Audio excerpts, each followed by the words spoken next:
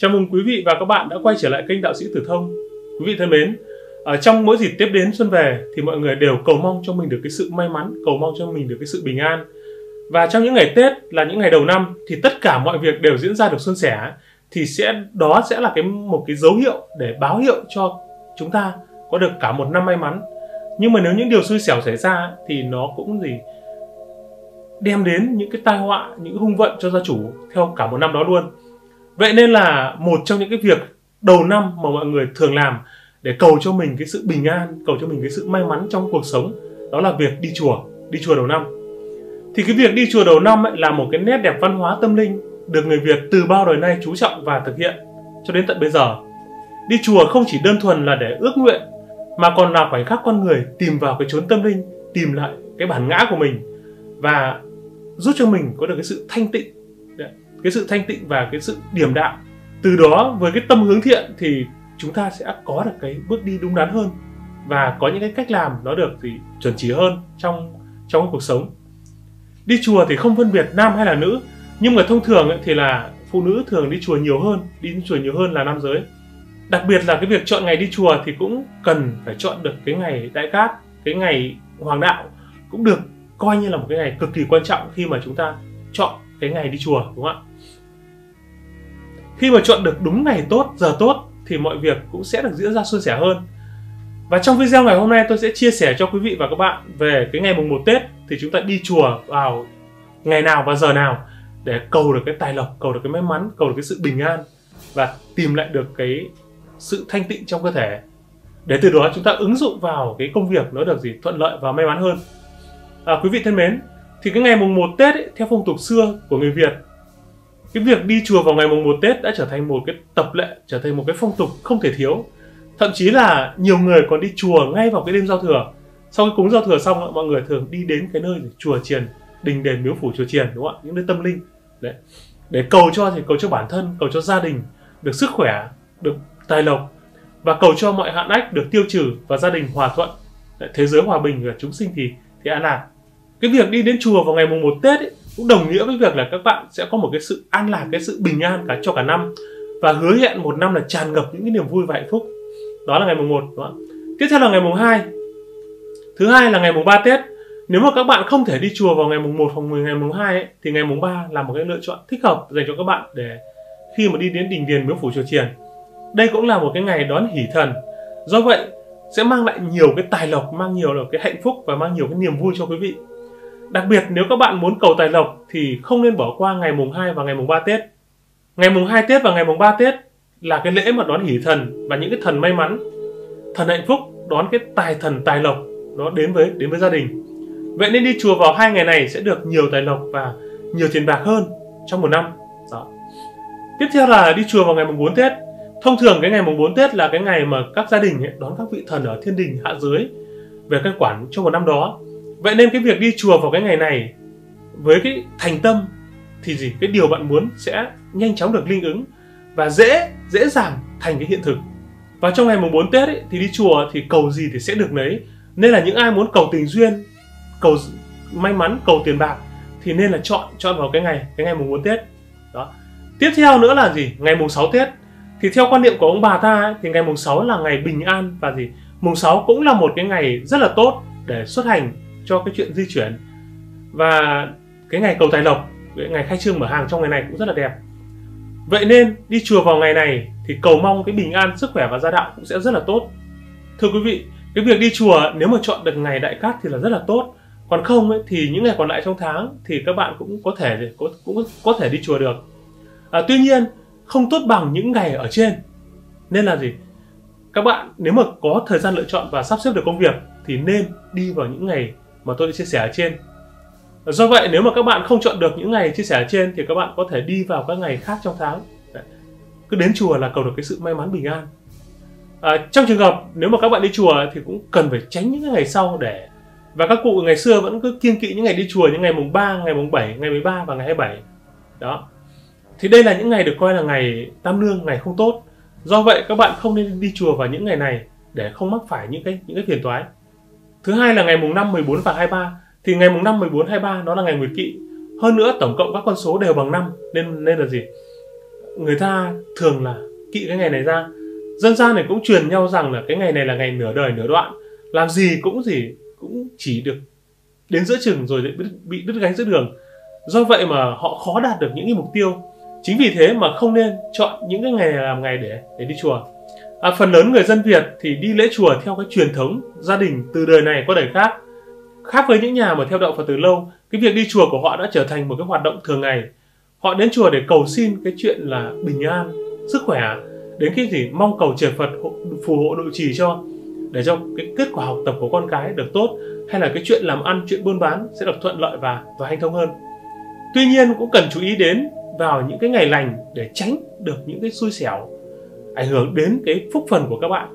Quý vị thân mến từ xưa đến nay, cái đi chùa đầu năm ấy, là một cái hoạt động mà gắn liền với đạo Phật và cũng đã trở thành một cái phong tục tốt đẹp, luôn được duy trì trong mỗi con người, trong mỗi gia đình, vào cái vào cái dịp Tết Nguyên đán. Tuy nhiên thì không phải ai đi chùa thì cũng có những cái mục đích giống nhau. Và không phải ai cũng hiểu được cái ý nghĩa của việc đi chùa, và thậm chí thì còn phạm phải những cái điều đại kỵ và mắc những cái sai lầm khi mà đi chùa. Vậy thì đi chùa thì cần chú ý những điều gì? Các bạn hãy cùng tìm hiểu ngay sau đây. Đầu tiên, cần phải chú ý đến cái trang phục khi mà chúng ta đi đến chùa. Khi đi lễ chùa, các bạn nên chọn các trang phục trang nhã, sạch sẽ, kín đáo, lịch sự. Không mặc váy ngắn, không mặc quần cộc không mặc áo xuyên thấu, gợi cảm, vân vân. Bởi theo ngôn ngữ của Phật giáo thì cái việc ăn mặc quá gợi cảm, vừa phạm giới uế tạp của Phật đường, lại vừa phạm cái giới bất kính. Dù người đó có mất công thờ cúng thì cũng thì cũng trở thành vô ích. Ngoài ra, các bạn cũng nên mặc những cái trang phục gọn gàng tiện ích tránh rườm rà gây ra vướng víu. Còn đối với phật tử thì phải mặc áo lễ khi mà đến điện thờ hoặc là gì đi đến chùa. Ngoài ra hiện nay thì nhiều ngôi chùa có quy định là phải bỏ giày dép ở ngoài để trước khi bước vào để dâng lễ.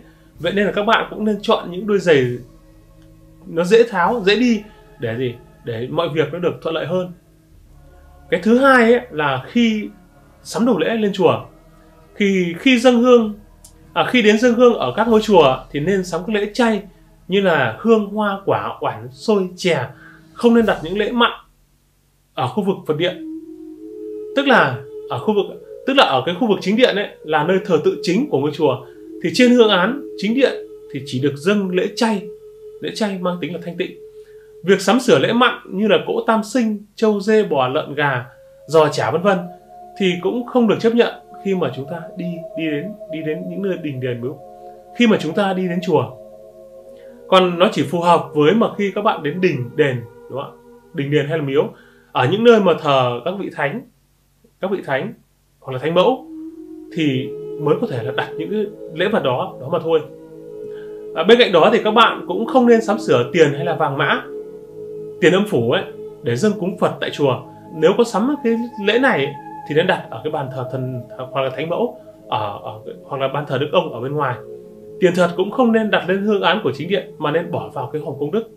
Tuyệt đối không nên đi giải tiền ở trên tất cả các ban thờ và đặt tiền ở, ở tay tượng hoặc là tay phật vân vân.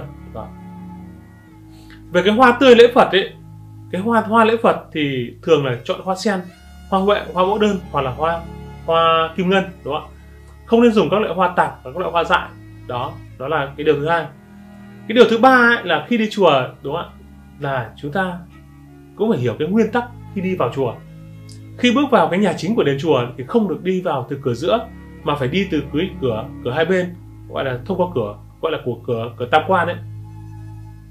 Các đi các bạn nên đi vào gì? Đi vào ấy thì các bạn đi vào phía bên bên trái và đi ra ấy, thì đi bằng cửa bên phải. Đó. Cái cửa trung quan tức là cái cửa chính cửa giữa của ngôi chùa thường là có ba cánh đúng không ạ? Một cánh bên trái à, bên phải bên trái và và giữa đúng không ạ? Thì chúng ta đi vào đi vào chúng ta đi đi ở phía bên bên tay trái. Và đi ra thì đi về phía bên tay phải. Còn cái phần chính giữa thì chỉ dành cho các bậc thiên tử các bậc cao tăng hoặc là những người mà đỗ đạt khoa bảng đi vào chùa thì nên đi theo cái cửa này. Thì ngoài ra các bạn cũng không nên dẫm lên cái bậu cửa của chùa. Đó, không nên dẫm lên cái bậu cửa các bạn nên bước bước qua thì là sẽ là chuẩn chỉ nhất. Đó. Và cái thứ tư là cái cách sư hô trong chùa. Khi đi vào chùa thì gặp các nhà sư thì chúng ta có thể chào thầy bạch thầy xưng con hoặc là xưng đệ tử. Xưng hô như vậy tức là nhìn thấy tăng mà tưởng nhớ đến thầy thích ca mâu ni hoặc là nhớ đến các vị thần phật. Nếu nhà sư đó là thầy hướng dẫn mình tu tập thì nên xưng hô là thầy. Thì ngoài ra cái nghĩa trên nó còn mang cái ý nghĩa là thầy dạy học và thầy thầy học đạo dạy dạy truyền đạo đúng không à, khi thưa gửi với nhà sư thì đều phải chắp tay hình búp sen. Và có một cái lưu ý khác nữa khi mà đi đến chùa là không được chạy qua chạy lại nói chuyện bình phẩm hoặc là gì? Hoặc là ngồi hoặc là nằm trong phật đường không tùy tiện hắt hơi sổ mũi khạc nhổ xung quanh cái khu vực của gì? Của phân điện.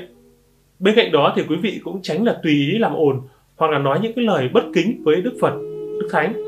Và cũng không nên có cái thái độ là thiếu công kính như là tùy tiện dùng tay chỉ chó vào tượng phật. Bởi vì cái chốn phật đường là nơi tôn nghiêm và có giới hương, có định giới. Đòi hỏi phải trì giới để đi vào dưỡng thanh tịnh, tuyệt đối không gây ồn ào, không nên nên đội mũ hoặc là khăn, túi sách hay là mang gậy gộc vào cái chốn tam bảo và chốn linh thiêng này. Nếu mà quý vị lỡ phạm phải những sai lầm này thì thì cái mọi cái cái công quả tu dưỡng từ bấy lâu nay thì đều bị bị tiêu tán hết. Và khi đi chùa thì tốt nhất không nên mang theo những cái đồ tùy thân khi mà vào vào tam bảo vào phật đường.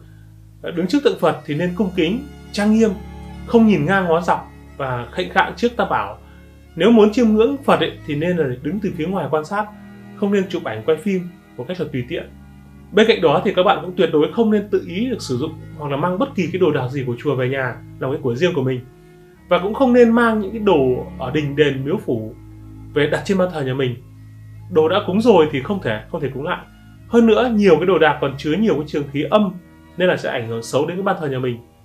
Bên cạnh đó thì đi chùa vào những cái ngày sau thì cũng sẽ được phúc báo đầy nhà. Thứ nhất là ngày mùng 1 âm lịch, đúng không ạ? Ngày mùng 1 Tết thứ hai là ngày mùng 2 Tết thứ ba là ngày mùng 3 ngày mùng 4 Tết và cuối cùng là ngày mùng 6 Tết. Các bạn nên chọn những ngày này để đi chùa để cầu được cái sự may mắn cầu được cái sự bình an cho cho mình và gia đình. À, xin chúc quý vị có một năm mới bình an và hạnh phúc. Cảm ơn quý vị và các bạn đã quan tâm theo dõi. Hẹn gặp lại quý vị ở các video tiếp theo. Xin cảm ơn.